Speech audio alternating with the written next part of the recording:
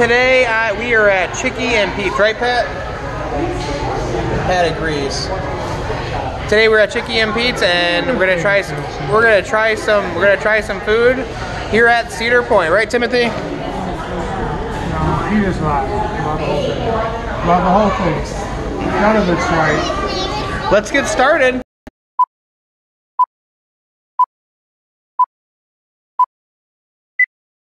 Welcome to another fantastic episode of Orange You Glad You Don't Know Me. I am your host, as usual, Kelsey Evans, and join me, and one day I'll reach 100,000 subscribers.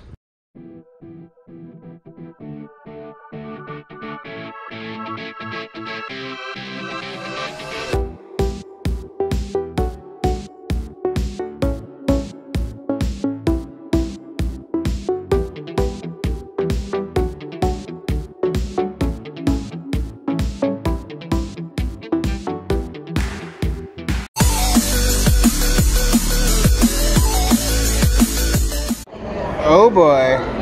I ordered a cheesesteak that made it look like a uh, pizza, and I got a side of olives. Not green olives because they didn't have green olives, but black olives would do, I guess.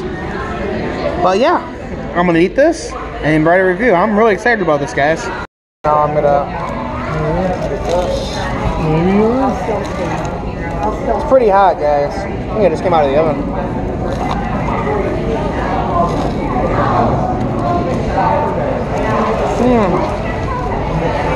Pretty good. It has a nice solid crunch to it, guys.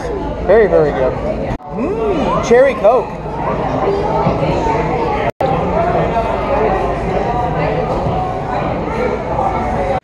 Okay, I just got done eating this. It was pretty good. But on a scale of 1 to 10, I'm going to give it a 6.7. Only because it was more chili, uh, it was more uh, it was more Philly steak and less pizza like I did like I had hoped for. It was pretty good though. How was yours, Tim? Why do you complain that there's too much steak? That's the idea. Steak sauce. Why would you get pizza and not the white cheese sauce anyways? That's just rolling